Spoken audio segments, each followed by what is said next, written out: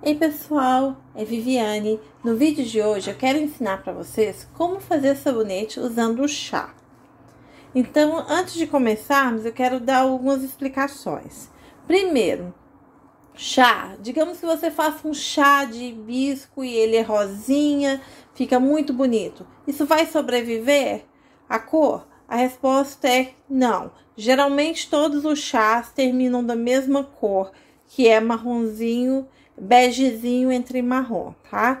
Então, não fica aquela cor é, rosinha, bonita, não fica. Fica entre bege a marrom, a cor do chá, e o seu sabonete vai ficar com essa cor em, em tons de, de bege, em tons de, de bege a marrom, tá bem? Hoje, eu escolhi para fazer para vocês um chá de camomila. E por que que eu gosto tanto dessa receita? Porque a camomila ela deixa um cheiro bem gostoso na hora que você tá fazendo o sabonete, tá? Não quando você vai, vai tem o produto final, que é o sabonete, ele não fica, não resiste o cheiro. Mas pelo menos quando você tá fazendo é uma coisa bem agradável, tá? Camomila, como vocês sabem, é bom para a pele, então a gente tá usando aqui. É, não tenho como dizer para você se no processo de fazer o sabonete se vai ficar com as propriedades da camomila ou não, tá, gente? Isso a gente, eu tô sendo bem honesta com vocês. Eu não sou química, isso não foi testado em laboratório, tá? Esperamos que alguma parte da camomila fique, mas não sabemos se fica ou se não fica. Se você souber a resposta, coloque aí nos comentários. Então, quando você vai fazer eh, sabonete com chá ou com café, o que, que você tem que fazer? Você tem que fazer o que você for fazer, o chá que for fazer, o mais forte possível. É deixar esfriar, congelar e depois pesar ele para poder fazer, tá bem? Então, sendo assim, eu tenho é, não basta dizer outra vez, né? Eu tenho minha janela aberta, tenho, estou fazendo sabonete num lugar ventilado, tenho meu, minhas coisas de proteção, óculos, tô de roupa de frio no calor, tudo certinho, tá? Então, pronta para fazer o sabonete. Se você nunca fez sabonete antes, por favor, siga. Isso é um curso de saboaria, comece pelo começo, tá bem? Então, bora lá. Vou estar misturando a minha soda já pesadinha aqui. Observem que à medida que a soda entra em contato com o gelo, ele já vai derretendo o gelo, tá? Olha, você pode até se arriscar a colocar tudo de uma vez, porque não faz mal. Não precisa ser tão coisa. Quanto se você estivesse misturando na água, que tinha que ser mais lentamente, tá? Aí você vai estar tá misturando essa belezinha aqui. Olha, observe como que isso já tá.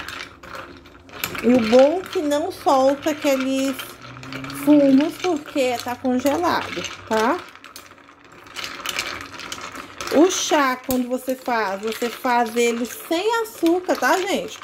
É só mesmo a água e as ervas do chá, o saquinho de chá. Nesse caso aqui, para fazer essa quantidade de chá, eu usei três saquinhos para ficar forte, tá? É, todos os ingredientes que eu usei vão estar na descrição, então não é preciso falar, porque geralmente esses vídeos meus já ficam bem grandinhos, então para não ficar maior ainda, tá? A gente vai deixar isso ali enquanto eu vou mostrar para vocês aqui o que que eu tô usando de óleos, tá? Eu tenho uma seleção de óleos aqui, tô usando coco, cacau, oliva, abacate, girassol é, nessa receita. O azeite de oliva que eu usei foi um macerado de oliva com é, camomila. A camomila que eu usei foi saquinhos de chá de camomila, tá bem? Ao fazer esse tipo de sabonete com chás e ervas qualquer, eu aconselho que vocês não misturem. É, são raras as ervas que você pode misturar no sabonete que não vai oxidar. E uma dessas ervas, por exemplo, é a, a calêndula, né? A calêndula, ela não, ela, ela não oxida, fica um amarelinho, ela fica suave lá dentro. Então, quando você corta, ele não arranha o seu sabonete, fica até muito bonito. Outras ervas, por exemplo, o coentro. O coentro é uma erva que se você bater ela no liquidificador, ele, ele bem fresquinho, né? Um, mas é um, um, um molho de coentro muito grande. O que, que vai acontecer? Você vai fazer aquele chá, ele vai ficar com a corzinha, vai dar uma corzinha verde no seu sabonete. Fica bacana para quem quer ter uma corzinha verde e não fica com cheiro ruim do espirulina. Mas com o tempo ele clareia. Então você tem, digamos, seis meses para vender o seu sabonete verdinho, tá? O coentro, assim, esse não é coentro, isso é aquela salsa. O coentro e a salsa, assim, em pó, já moído e seco, desidratado, ele, se você colocar no seu sabonete, ele vai ficar verde durante uns seis meses também. Depois ele fica amarelo. O sabonete não fica oxidado depois de seis meses, mas ele muda a cor, tá? O sabonete continua sendo bom para usar, mas não vai ficar o verde verdinho. Eu gosto de usar essa, esses temperos secos assim, para dar quando eu vou fazer de hortelã, por exemplo, que parece que dá a impressão que é hortelã quando não é. Mas dá, fica parecendo, eu acho bacana, tá? Outras coisas ficam pretos é, de acordo com, com os testes que eu fiz. Se alguém fizer outro teste aí, deixa, me deixa saber. É, chá de hibisco, que é rosinha, gente, não fica rosinha, infelizmente não fica, tá? Fica marronzinho o seu sabonete, então não vale a pena. Então, sem muitas demoras, eu tenho aqui o meu, o meu, a minha mistura, a minha lixívia, já numa temperatura mais baixa, 25 graus. Então, o que que eu, o que que eu tenho que fazer? Eu tenho que ter o meu, não faz mal se a temperatura tiver muito, muito baixa, não. O que significa que você vai ter que bater ele mais tempo, tá? Que não faz mal. E os seus olhos vão ter que estar no máximo na 35 graus, tá? Então, eu vou esperar os meus olhos, que eu esquentei um pouco muito. É, vou esperar ele atingir a temperatura que eu quero. E a hora que tiver já a temperatura já pelo menos a uns 35 graus, aí a gente já volta para poder fazer o sabonete direitinho, tá bem?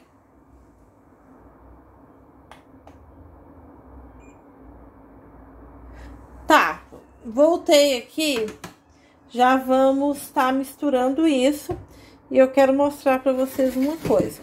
Como eu usei o azeite ele macerado, ele meio que ficou um pouquinho de sujinho de, de do saquinho do chá, tá?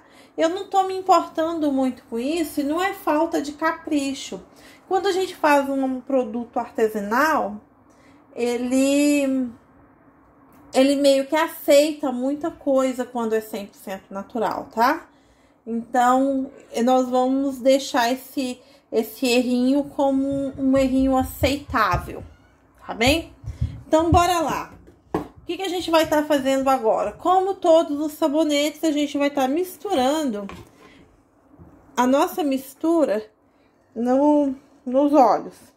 E eu tô colocando essa colher aqui pra não bater com tanta força no, nos olhos e espirrar e também não dar tanta bolha de, de ar, tá bem? Aí, a gente raspa o tanto que a gente conseguir raspar muito bem aqui. E vamos estar aqui misturando esse sabonete, tá? Bato sempre para tirar qualquer bolinha de ar.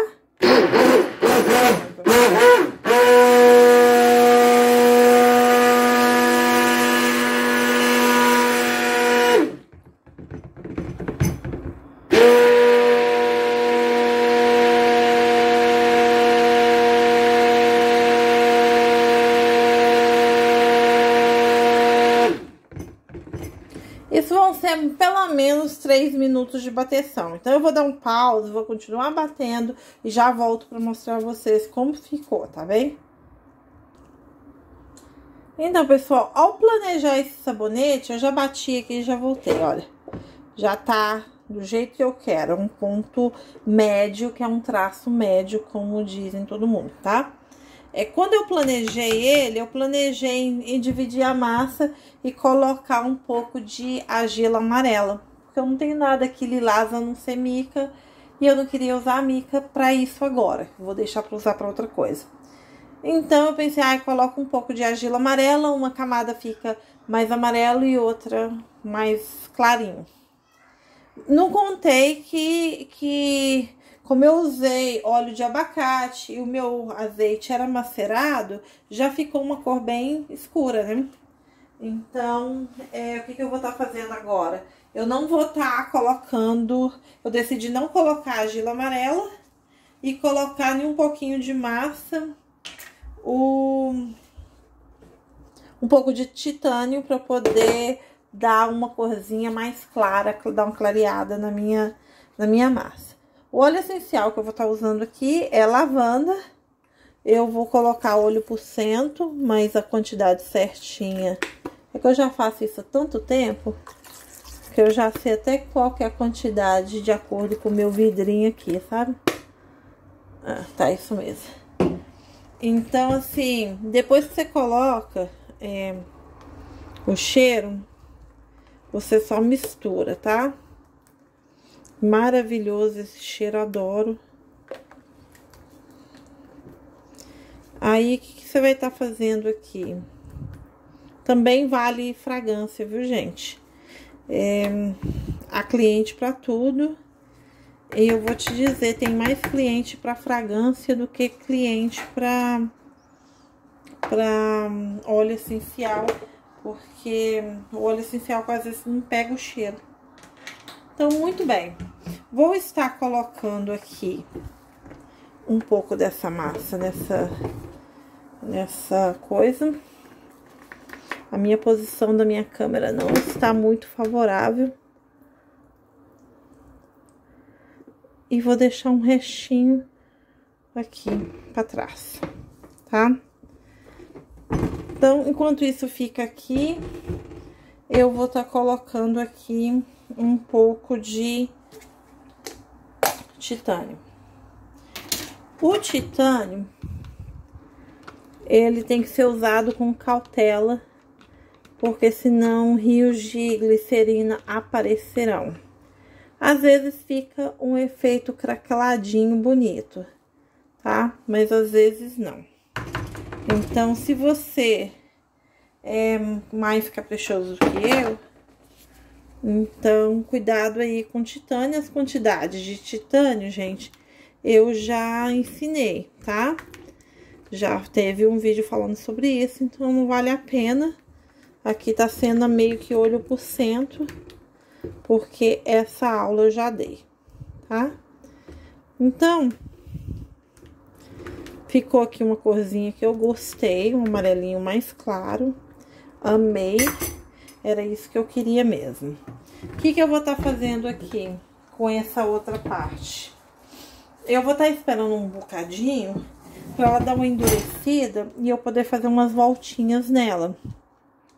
Depois que eu fizer as voltinhas nela, eu volto e coloco aquele por cima, tá bem? Então, deixa eu dar uma esperadinha aqui, vou dar uma pausazinha e já voltamos. Então, bora lá. Voltando aqui, comecei a fazer sem, sem apertar a câmera, tá? São remexidinhas assim, sem muito, muito coisa, mas que faz a diferença depois, tá?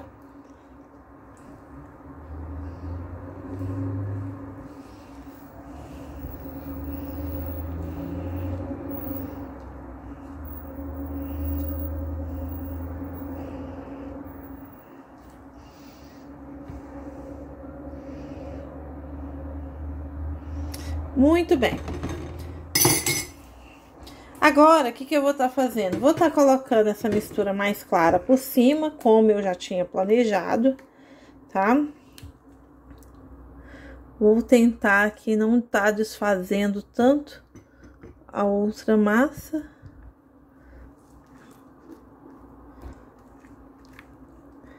Espera que eu vou dar mais uma misturadinha aqui no restinho todo.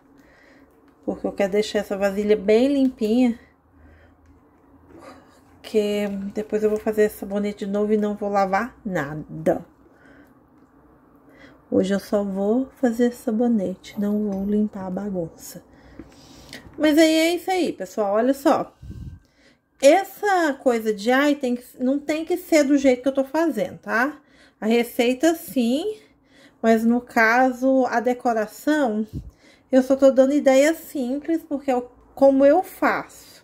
Mas acredito e, e falo bem honestamente que muitas de vocês têm tanta criatividade e também já viram também, se inspiraram em, ideia, em outras ideias, tá?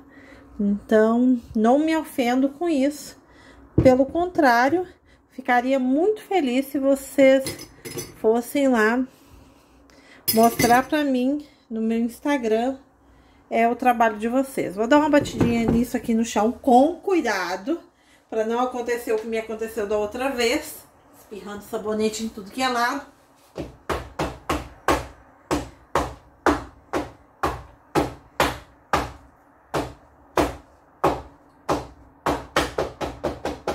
Quando a gente bate o sabonete, é um passo importantíssimo. Não sei se vocês conseguem ver aqui, porque já tá de noite aqui pra mim e, e eu tô contra a luz. Mas olha, por exemplo, aqui, são bolinhas de ar que subiu, tá vendo? Então, é muito importante fazer isso para não ter um sabonete cheio de bolinha de ar, tá? Então, aqui, o que, que eu quero tá fazendo? O que eu quiser, né? Aqui você podia estar tá jogando camomila com lavanda, podia estar tá fazendo o que quisesse aqui que isso vai do gosto do artista. É, tá? No caso, vocês do saboeiro. Eu, com o que eu tenho aqui, a, a camomila que eu tenho tá muito feia. E eu quero aproveitar a lavanda que eu tenho. Tá? E a lavanda que eu tenho é aqui do vizinho. Então, quero mesmo aproveitar. Olha só. A minha forma, eu marquei mais ou menos onde, onde eu vou cortar cada, cada barra. E é uma ideia bacana, porque assim, tá? Aí, o que, que eu vou estar tá fazendo aqui? Simplesmente o que eu quero fazer, eu quero que fique mais lisinho. Pra me fazer o que eu vou fazer. Pera. Eu quero só puxar de um lado e deixar o outro lado sem nada. Vamos, vamos embora. Acho que ainda o meu sabonete ainda tá muito mole pra fazer isso. Então, vou dar uma esperadinha. Porque isso é assim, se ficar muito duro, ele fica feio. Se ficar muito mole, ele não fica no lugar. Então, vamos ver aqui se dá. Ok, ok, ok.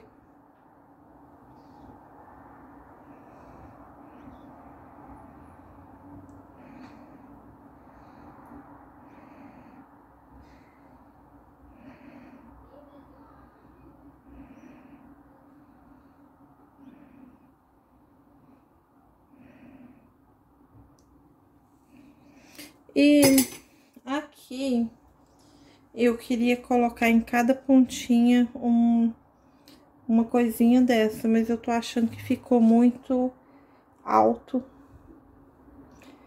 Não ficou do jeito que eu queria. Então, espera aí, que isso tudo tem conserto. Essa parte é a parte chata, viu, pessoal? Essa parte aqui é a parte minha tentando fazer desenho. Então, se você gostou desse vídeo, Deixe aí um joinha pra mim, tá? Obrigada por ter assistido até agora, obrigada pela paciência em me ver fazendo... Fazendo isso aqui.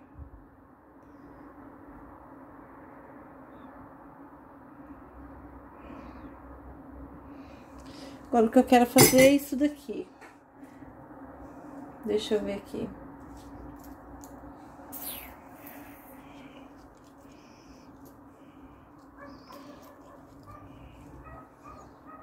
Tá vendo? Assim, uma em cada um. Pra vocês não terem que sofrer comigo, eu vou dar um pause e já mostro como ficou. Então, decidi que ia ficar assim. Agora, na hora de cortar, eu mostro pra vocês como ficou amanhã, tá bem? Então, amanhã eu volto pra poder cortar esse sabonete e falar pra você, e mostrar pra vocês como ficou. Se você quiser ver todos os sabonetes dessa série, vocês vão encontrar fotos deles no meu Instagram. Então, vai lá, dá uma conferida no Instagram pra gente. É... Obrigada por ter assistido até o final, por apoiar, por apoiar esse projeto. É... Um beijinho e até a próxima. Tchau, tchau! Então, pessoal, voltei aqui. Agora nós vamos desenformar isso daqui para poder ver como é que ficou, tá? Bora lá.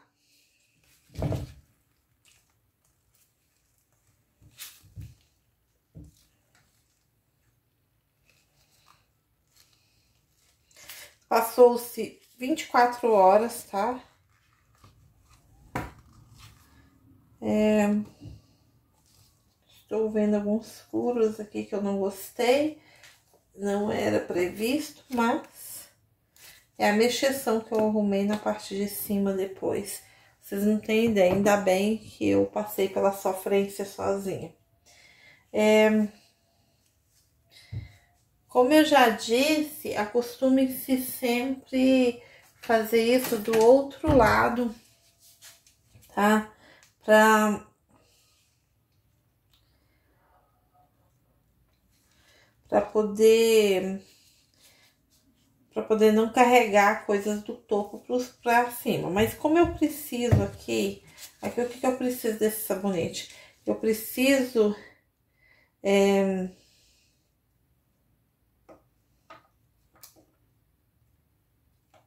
Olha o silêncio de quem esqueceu o que, que ia falar.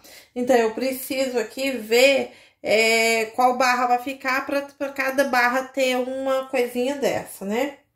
Então, por isso, eu vou fazer da parte de cima.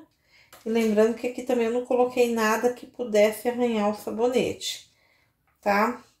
Então, assim, o que, que eu geralmente faço aqui?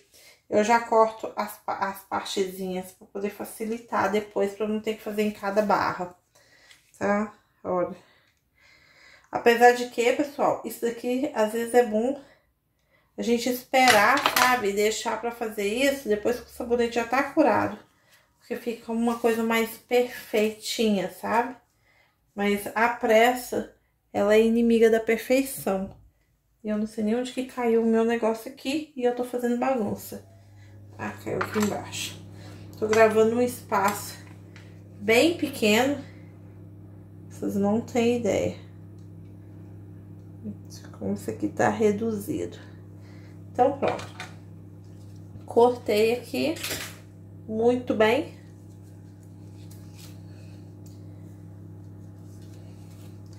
Esse é o meu sabonete. E agora vamos ver como que isso vai ficar, como é que ficou isso aí dentro pra gente, tá? Vou estar colocando isso aqui pra eu ver como que... Se isso vai ficar uma, uma florzinha de cada lado. Que é essa minha ideia. Que fique... Ah, sim, vai ficar.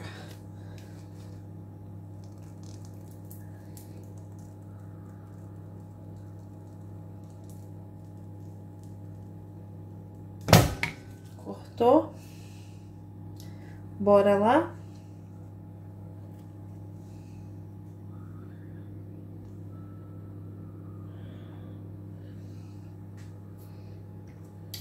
Ver.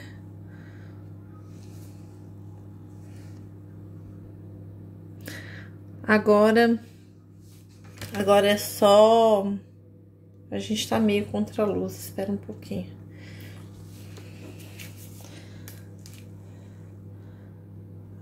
Essa é a bagunça da minha cozinha. Isso, aí. Olha só. Pra ver melhor isso daqui, pessoal, vai lá no meu Instagram, tá? que eu vou estar tá postando todas as fotos de sabonete que eu estiver fazendo para essa série lá. Tá bem? Esses são os sabonetes. Sim, ficou como eu queria. O cheiro tá muito bom. Eu tive que cheirar para confirmar, tá? E assim, olha, cada um fica ligeiramente é, diferente do outro. Gostei, não achei que ficou, ficou ruim não, tá bom. Ficou diferente do que eu fazia antes é, de lavanda, mas tá bom. Em modo geral, não vou, não tenho muito que me queixar. Agora, na hora do corte, eu cortei muito perto. Não ficou tudo no meiozinho certinho, não, mas tá bem, tá bem. Assim, assim ficou o nosso sabonete. Obrigada por ter assistido até agora. Obrigada por estar acompanhando esse projeto e apoiando esse projeto. Pessoal, se você tá curtindo esse projeto, achando que é uma coisa bacana, deixa seu like, o seu comentário e se inscreva no canal. Às vezes dá notificação, às vezes não dá eh, notificação, mas são 30 vídeos, pelo menos 30, 35, ainda não gravei tudo. Então, ainda estou decidindo, mas é uma série de vídeos, vai ter vídeo todo dia agora em agosto, tá bem? Um beijinho e até a próxima. Tchau, tchau!